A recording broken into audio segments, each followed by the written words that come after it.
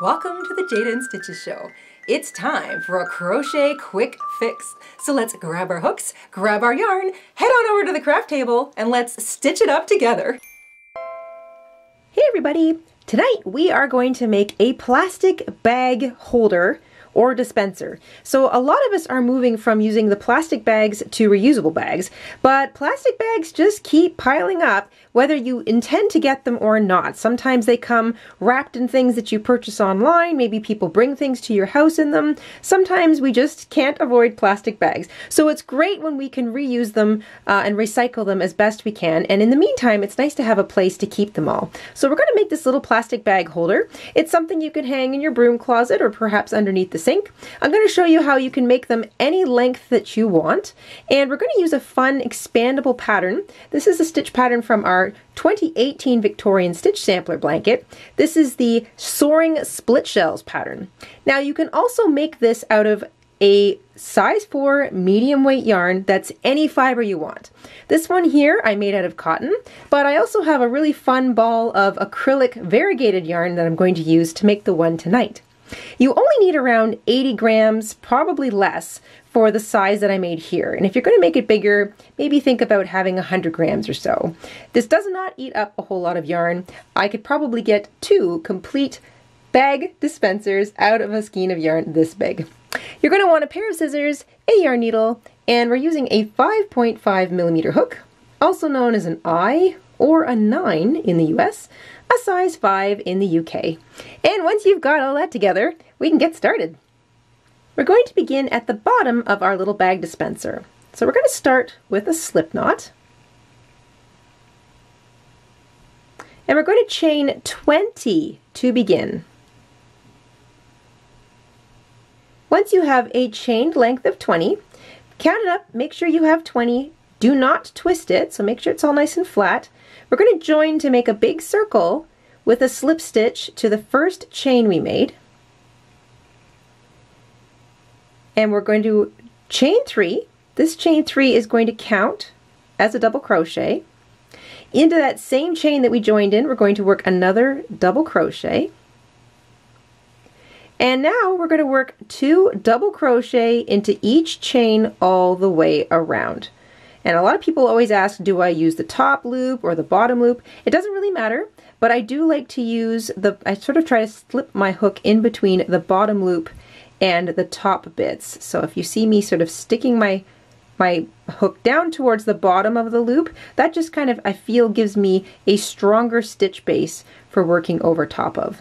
And it also makes for a neat and tidy little bottom edge to the crochet as you can see right there. So two double crochet into each chain all the way around. You'll have 40 double crochet, including that chain three that we began with, when you get round to the beginning again. Once you get back round to the beginning, you will have 40 stitches, and that includes that chain three that we began with. You're going to join with a slip stitch to the top of that chain three, and now we're going to begin our split, soaring split shell pattern. So we're going to chain one to begin. And into that same space that we joined our last row, so the same stitch that we joined in, we're going to work a single crochet. Chain five.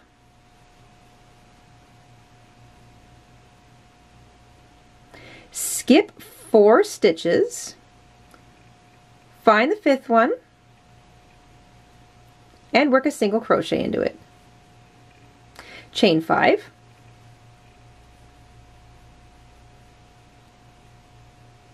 skip four stitches, find the fifth one, and single crochet into it. And that's all you're going to do all the way around. Chain five, skip four, single crochet into the next stitch.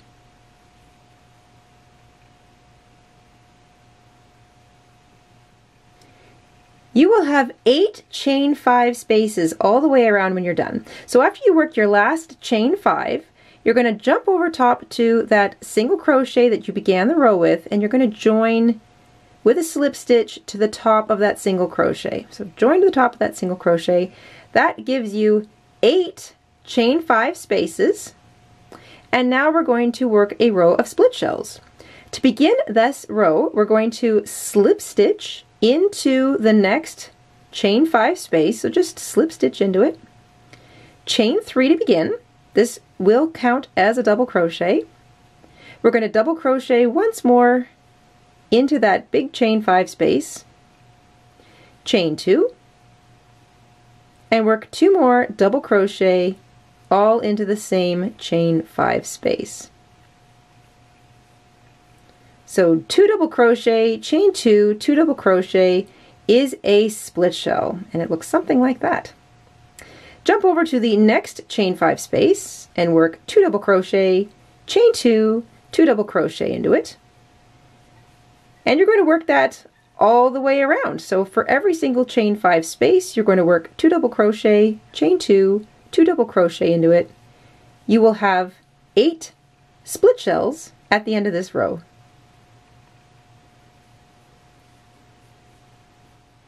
When you get back around to the beginning and you've worked your last split shell into your last chain five space, find the top of the chain three that you began with and join with a split a slip stitch, pardon me, slip stitch. You'll have eight split shells all the way around and they're already starting to soar thanks to those nice big chain five spaces. We're back to the little single crochet chain five repeater. So this is a two row repeater pattern. Uh, the odd row is the single crochet chain 5 row and the even row is the split shell pattern. So to begin in an odd row, in this case row 3, we want to start in the space between split shells. So because we're just past it, we're going to actually just slip stitch backwards into that space between split shells. So basically you're just plunking your hook backwards through that, that space between the split shells and slip stitching. We're going to chain one and in the same space we're going to single crochet. So that's how an odd row begins. You slip stitch backwards into the space between split shells, chain one and single crochet all into that space. Chain five, skip a split shell, find the space between them, and single crochet right into that space. Chain five,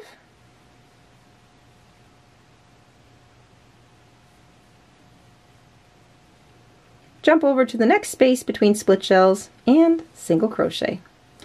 And that's all you have to do all the way around. Chain five in between single crochets, the single crochets sit between your split shells. You'll still have eight chain five spaces at the end of this row. When you get back to the beginning, find that single crochet that you began with, so you chain your last five, skip your last split shell, and join with a slip stitch to the top of that single crochet.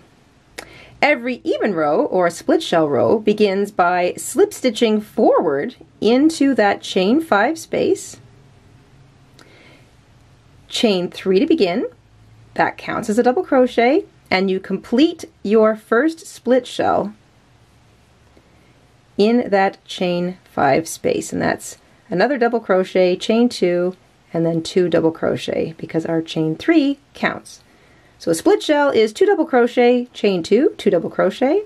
Work that all the way around. When you get back to the beginning, join with a slip stitch to the top of the chain three that you began the row with.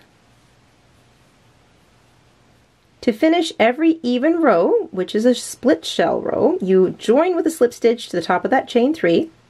And to begin an odd row, so to set yourself up for the next row, you remember to slip stitch backwards into that space between split shells. So you slip stitch backwards, chain one and single crochet into the same spot and that sets you up for your odd row. Chain five, single crochet in between the next split shell and so on. Now you can work this pattern, the odd, even, odd, even repeating rows as tall as you want. So if you've got a lot of bags that you want to have handy, then you can make this a bit, a bit longer than I have here. But I've repeated this odd, even, odd, even row until I had nine sets. So I've got nine sets of that repeating row, and then I worked one more odd row above that row of split shells. So in other words, this last little row, before we finish it off, would be row 20 up here. Row 1, remember, is just that row of double crochet. and then we start with the actual pattern stitch. And the reason I say this is an odd row and an even row is because the pattern stitch consists of the single crochet chain 5 being row 1 of the pattern repeater and the split, split shell pattern being the second row of the pattern repeater. So odd, even, odd, even, despite the fact that we've started it technically on row 2. So not to confuse anyone. But you want to repeat that little pattern repeater about nine times, and then we're going to finish off with an extra row of the odd the odd pattern row, so that single crochet chain fives right on top of that before we get to the very top of our little bag dispenser. So I'm going to let you work on that even odd or odd even repeater row for a little while, and I'll catch up with you in a bit. I have worked the little pattern repeater nine and a half times in total. So there's nine rows of split shells, if you count up just the split shell rows. And then once I got up and finished my ninth row of split shells, remember they're all separated by those little odd single crochet chain five rows, I added another odd row on top of that. So single crochet chain five in between all of my split shells. So if you're just going to count the split shells, you should have nine rows of those and then one little odd row on top. Now we're going to finish off our little sack with just a simple little edge of double crochets before we add our handle. So as though we were starting another row of split shells, we're going to slip stitch into the chain five space, but we're not working split shells anymore. We're just going to work double crochets like we did around the bottom when we began. We're going to chain three to begin. This chain three will count as a double crochet. You're going to work four more double crochets into this same chain five space.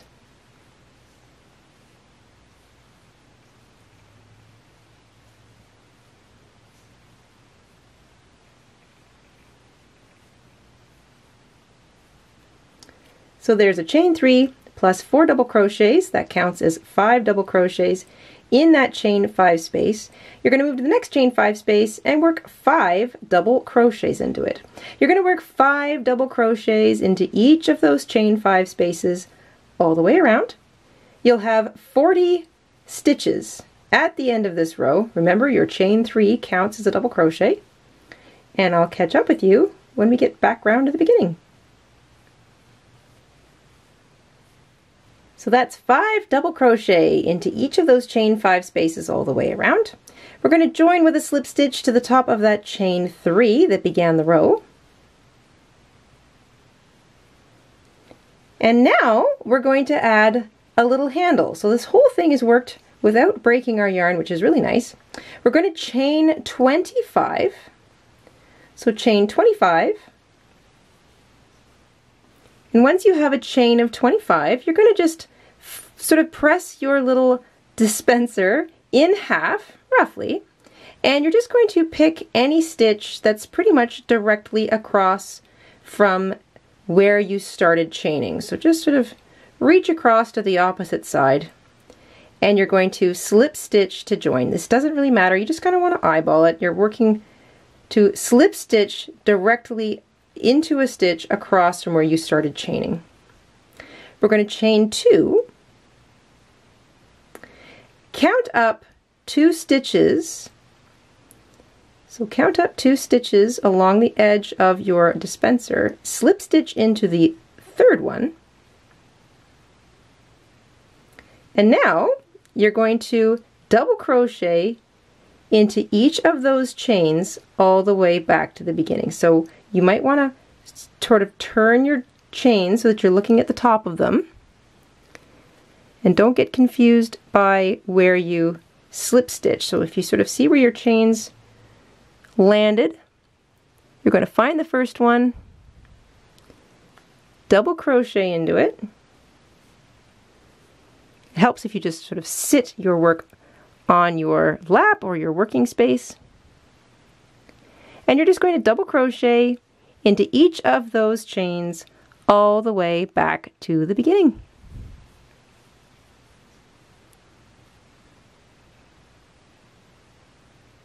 Once you've double crocheted into every single chain all the way back, so you see we've anchored it here, you've double crocheted into every chain all the way back to the beginning, you're going to skip two stitches along the edge of your dispenser and slip stitch into the third so that you're anchoring your little handle at both ends. Then you can trim your yarn.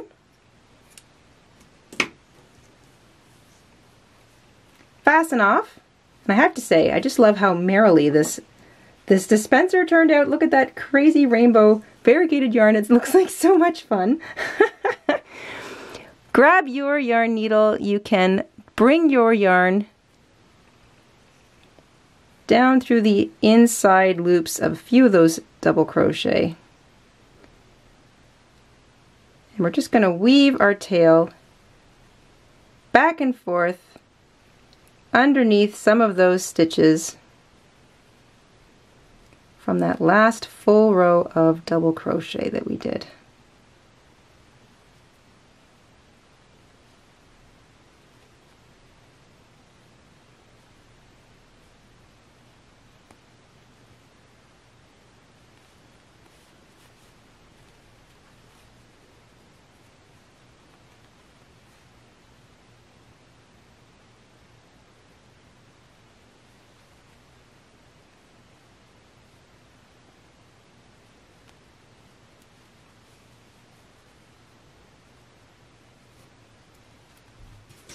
And there you have it.